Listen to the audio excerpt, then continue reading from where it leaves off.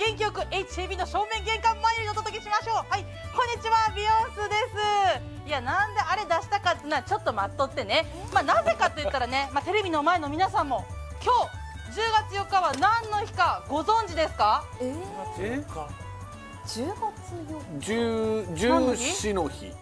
何の日ですかはいモブはいモブ答えますね。正解はですね天使の日なんです。天使10っていうのはほら英語で天って言うじゃないですか、はいはい。あって陽がねシとも言いますから天使ということで天使の日なんです。そんなね天使の日に作る今日の美容飯はですね、こちらです。じゃじゃん。はい。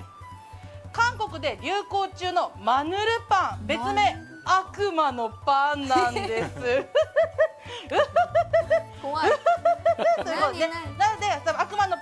森重ちゃんを出したわけなんですよ。なんで？でもねなんで悪魔のパンかっていうのはね後ほど紹介しましょう。だってしげちゃんほら天使の顔しながら本当は悪魔の部分持っとるやろということでね。えそんなことないよ。ピュアピュア。韓国のマヌ 韓国のねマヌルパンってのね皆さんどんなものか知らないと思うんで今回マヌルパンご用意しましたよ、フリップ。カモン。はいこちらです。はいご覧ください韓国のマヌルパンなんですよね。提供写真提供です。ね片山津温泉にある気楽ベーカリーさんからお借りしましたよ。美味しそう。ありがとうございます。ちなみにマヌルっていうのは韓国語でニンニクって意味なんですよ。なんでまあ簡単に言えばガーリックパンってことなんですがただのガーリックパンじゃないっていうところお楽しみに。それでは材料ご紹介しましょう。こちらです。はい今回1人前ですよ。はい食パンに卵クリームチーズそしてハムマヨネーズ砂糖パセリニンニクバター。そしてバターはですね焼く用とソース用の2つご用意くださいね。さあ早速作っていきましょう。まず今回下準備ありますよ。カロリーまあそういうところも悪魔ってところがあるのかもしれませんよ。さあさあ下準備でまずね食パンは半分にして2つに割っといてください。ハムと一緒に。ハムとパンは半分に切っておきましょう。そしてはいグラム数の多い方のバターはですねだいたいレンジでさえな20秒から30秒ほど温めて溶かしておきましょう。溶ければそれで OK です。さあさあマヌルソース作っていきましょう。まずこの溶かしたバターです。溶かしたバターを入れたらはいニンニクです。でニンニクはね今回小さじ2やったかなにしてあるんですけどももう好みです。大さじ1入れてもいいですよ。そして砂糖も入れマヨネーズ。マヨネーズ入れます。そしてはいパセリなんですが生でもいいですし乾燥パセリどちらでもいいですよ。お好きな方をお使いください。今回生でいきます。でよく混ぜます。これがね悪魔的に美味しいんですよ。はいこれでねマヌルソース完成しましたよ。さあさあさあ続いてフライパンです。ここから皆さん悪魔的に早いんでもういちょっとちゃんとしっかり見とってくださいね、フライパンに火をつけてはいバター入れます悪魔的に出る出落ちない。はいバター入れます。でバターを溶かしてる間に卵を2つ割りましょう。はいちょんちょんはいでよく溶いておきますよ。もうここから時間との勝負です。悪魔的に忙しいんです。あだだだだだだだ。まあ先にこれ溶いておいてもいいんですけどね。はいこんな感じ溶けたらはい。バターをフライパン全体に伸ばしていきますよ。あーバターのいい香りがします。さあここにですね先ほど溶いた卵を入れます。さあ卵入れましたらはいパンをつけます。そしたらすぐひっくり返します。浸すんだ。で指1本分だけ隙間開けといてください。これ後ほどねとてもある作業が楽になりますよでこの焼き色をつけておきましょう。で卵が固まったらひっくり返すんですがこのやり方今回マヌルパンでこういうのしてますけども他にもアレンジが効く焼き方なんでぜひともこの焼き方覚えておいてください、はい。ホットサンドみたいになるんですよね。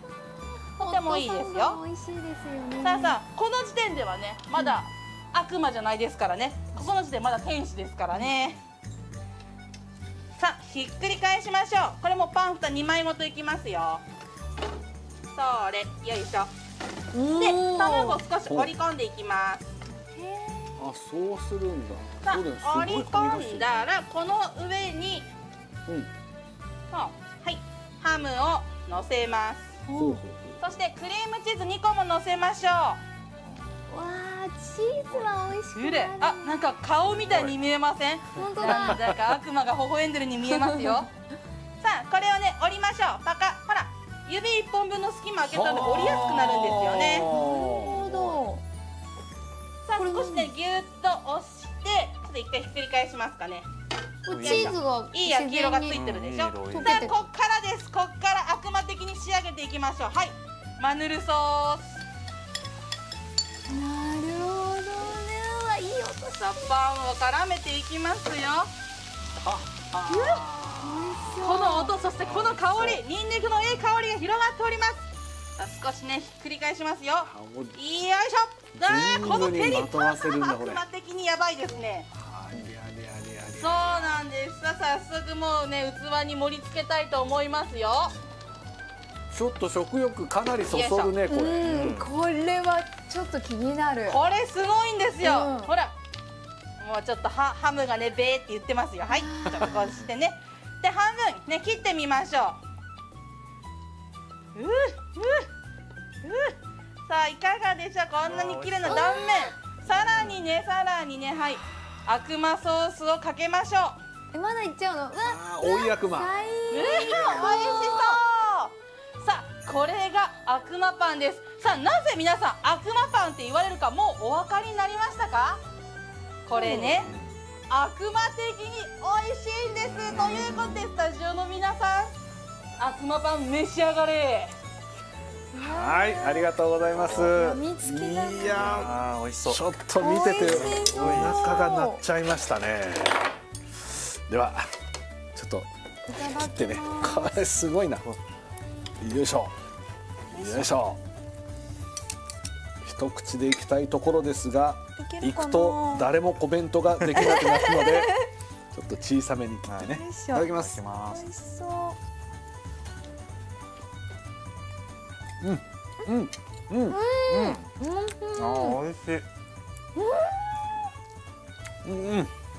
あのちょっとお砂糖入ってたのあでそうですね。ねその甘い部分も感じられるんですけど、いや卵にその甘さがあって、うん。美味しい卵とこのクリームチーズとでこのソースがすっごいよく合いますね。ニンニクの味がもうふわーって抜ける感じが美味しい。美味しい。なんかこのパンに卵がしっかりなんかひたひたってなってるのも美味しいポイントかも。美味しい。い悪魔的に静かになってますけど大丈夫ですか？ややみつきになっちゃう。うんすごいうん甘じょっぱい、そして食べた時にじゅわっとこのガーリックの香りとバターの旨味があふれて、クリームチーズの濃厚さがちょっと残るのが、うん。クリームチーズそうですね最高。ですなん。かね、意外に砂糖が効いてるんですよ。そうなんです。この砂糖のポイントなんですよ。しかもなんかすごいじゃあなんかめちゃめちゃギトギトなんかなっていう感じでもないんですよね、怖いでしょ悪魔的でしょでもカロリーはしっかりあるからこのパン。うんあるの。でも食べる美味しいでしょ？うん。美味しい。止まらない。うんないでしょ？もそう。でしかもその1枚の食パンでこれだけの満足感ってすごくないですか、うん。あ確かに一枚ですそうそうもんね1枚なんですよ。しかも6枚切りのパン1枚でこの満足感。うん。これねすごい節約にもいいかもしれませんしかもよそんな特別な材料がある感じもしないですし。そうなんですそうなんです、全然本当まあ身どうだろう近な材料な家にないものといったらまあクリームチーズとあとまあパセリとかかな、うんうん。でもそれだけ揃えていただければ。美味しい。だから今私たちのお皿に入ってたのは1枚じゃなくて半分っていうことなんですねそうなんですそうなんです。いや1枚でも OK よ。ゃいます。なんなら2枚分でもいけやると思うだもう悪魔的に求めちゃいます、求めるこれは。いやよかったもうね今回ちょっとスタジオの皆さんが天使的に微笑んどるからこのね 悪魔的に病みつきになるものを提供しようと思いまして。いいいいもう男性陣はペロリですよ。素晴らしいです、えこれ卵ってどうしたらこう柔らかくなるんですか？火をほとんど通さないです。一気に火力をそんなに入れないで。よく溶くのもポイントですよ。もうぜひともねお家でね悪魔的に美味しい悪魔パン作ってみてはいかがでしょうか。以上美容飯でした